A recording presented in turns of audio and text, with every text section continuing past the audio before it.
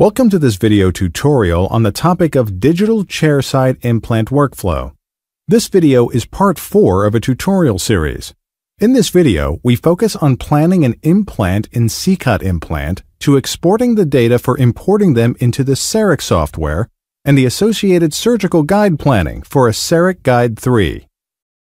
We are already inside the Plan step and have switched to the Implant Aligned Work panel and click the Add Implants tool. The implant selection window is displayed with the implant position 4-6 present since this information is already contained in the CEREC file. If needed, we change the implant manufacturer as well as the implant type. In our case, both are already selected, and we confirm the selection by clicking OK. The selected implant is, in its respective size, automatically positioned in the 3D volume under the prosthetic planning created in CEREC. The alignment and repositioning of the implant can be performed in different ways with different features. For demonstration purposes, we start in the tangential view and move the mouse cursor to the implant axis marked in orange. Once the icon with the two arrows is displayed, the axis can be aligned.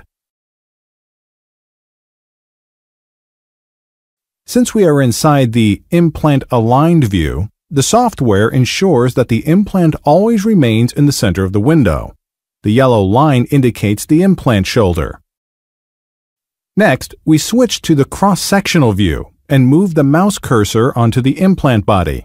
A small cross is displayed, indicating that the implant can be moved in the different directions the arrows point to.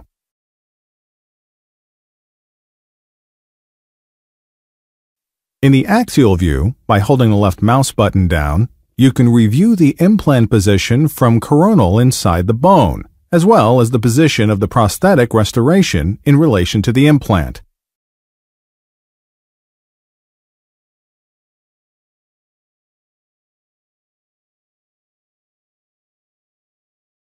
The outer dimension of the prosthetic planning is marked with a blue line, and the implant axis can be realigned again in the different views so that the implant is centrally aligned in the prosthetic planning. At the bottom right of the screen, under the Properties option, the implant length or the selected diameter can be readjusted again, among other things.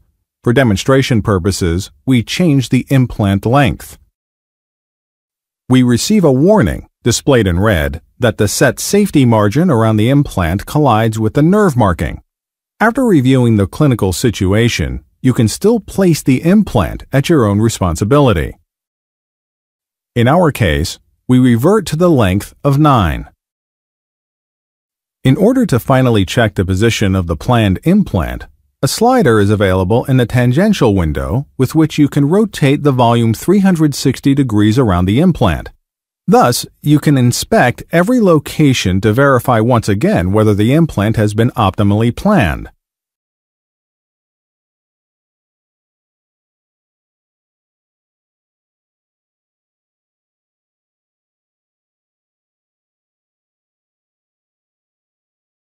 If this is the case, you have completed the final implant planning and ensure that the desired surgical guide type was selected.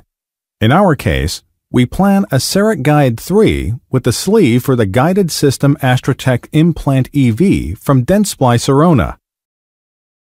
Next, we move to the last step, Treat. Before we get to the Export for CEREC Guide tool, let's open our planning report as an example. Your implant planning is documented within this report.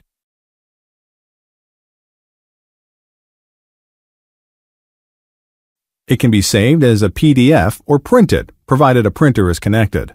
Please note that this report serves only for documentation purposes and cannot be used for diagnostic purposes or treatment planning. We close the report and come to the Export for CEREC Guide tool. We perform another final review of the data and click Export to File.